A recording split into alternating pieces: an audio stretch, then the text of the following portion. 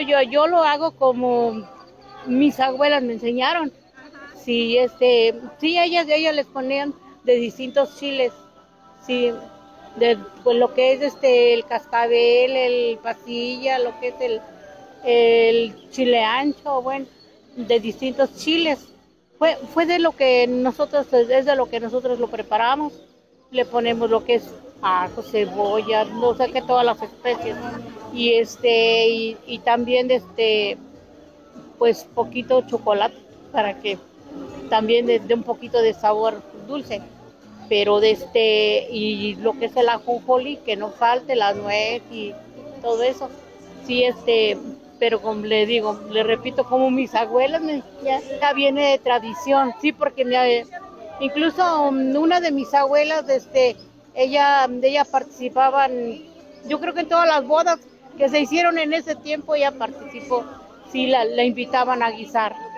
Había una boda y pues allá va Doña Mago, se llamaba Margarita García, del Puente del Carmen, sí. Sí, ella y este y, y, otras compañeras que invitaba para que le ayudaran, pero ella era la anfitriona. En aquel tiempo boda que había pues era mole. Por ejemplo, este lleva chile rojo, chile poblano, uh, cascabel, del ay, ¿cómo se llama? Chile mulato.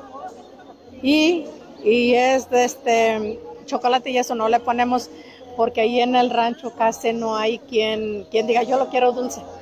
Él, solamente el poblano.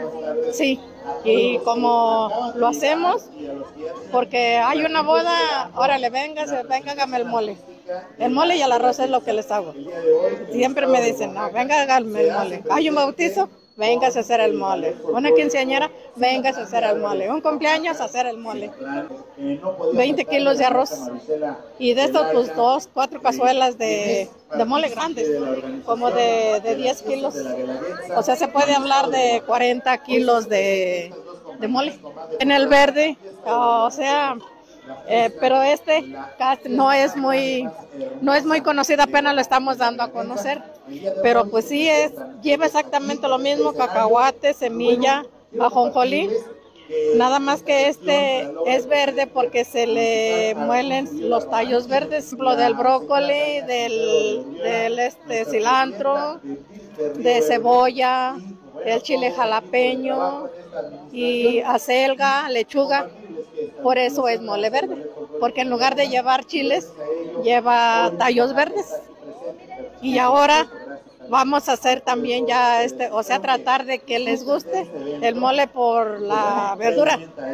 Que dice, come frutas y verduras, pues aquí lleva mucha verdura y lleva también el cacahuate, la semilla, o sea, es algo pues nutritivo si lo vemos por ese lado. Que de aquí en adelante mole verde y mole rojo. No, así Río Verde, mole verde, mole rojo. Y aquí en adelante. Y las tradicionales tortillitas moradas. Sí, también. Sí, también. Ahí en el rancho San José de Canoas. Uh, voluntaria de salud y ahí todo el mundo le, nada más preguntan por mí. Sí, me ubican de volada. Sí, nada más preguntan por Guille y ahí Y este ya. mole es de carne de puerco, está riquísimo este, también trajimos su arroz, sus frijolitos, tortillitas hechas a mano. Está todo delicioso. Lo hicimos de puerco, lo bueno, lo hice de puerco para variar, porque el de puerco es muy rico, muy sabroso. Casi todo mundo acostumbra a hacer el mole de pollo, pero el de puerco es muy sabroso, ¿verdad? Con sus ingredientes tostaditos, todo lleva su semilla, su cacahuate, ajonjolí, chile cascabel, chile de color, chile pasilla, chile mulato, eh, su pan tostado, su tortillita dorada y todo, todos sus, todos sus ingredientes perfectamente tostaditos para que le dé ese sabor delicioso. Sí, mi mamá me enseñó a cocinar y todo. Y hacemos para bodas, bautizos, 15 años, hemos hecho para mis hijas cuando se han casado, los 15 años, los bautizos, toda una tradición. Está eh, preparado esto, ya molidito, eh, se pone la cazuela eh, con un poquito de, bueno, a mí me gusta hacerlo con manteca, con un poquito de manteca, no mucho porque de por sí el, el, el chile ya suelta grasita, entonces se guisa con manteca se pone a, a- a calentar la manteca y, ya después el ingrediente que ya, que ya dije eh, se pone a hervir un poco en la cazuela, ya que está brotando, como que ya empieza a hervir poquito, se le agregan las piezas de pollo y, se está meneando un poquito para que también tener cuidado que no se vayan a romper las piezas, ¿verdad? Porque pues ya van cociditas. Una vez terminado, eh, se deja reposar.